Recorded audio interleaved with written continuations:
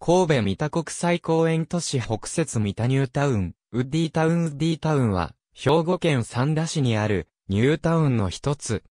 ウッディタウン町開き時のキャラクターウッディーちゃん、神戸三田国際公園都市の南部、北節三田ニュータウンのうち、フラワータウンに続き2番目に開発が進められた地域。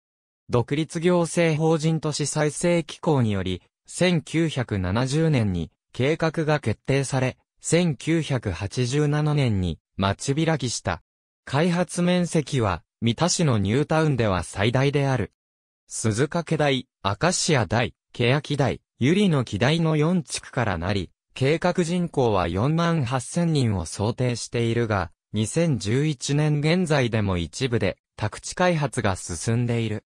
戸建て住宅が多く、整然と並ぶ街路樹や整備されている広い市道、大きな公園が点在しており、趣向を凝らした住居なども多く、緑豊かな住宅地で、大阪や神戸のベッドタウンである。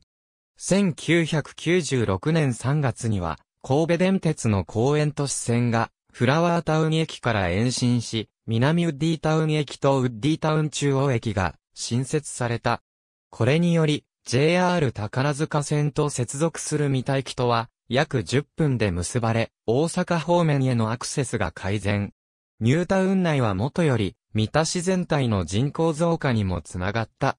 ただし、それ以前から乗り入れている、新規バスで一つ隣の新三田駅に出て、大阪方面へ向かう住民もいる。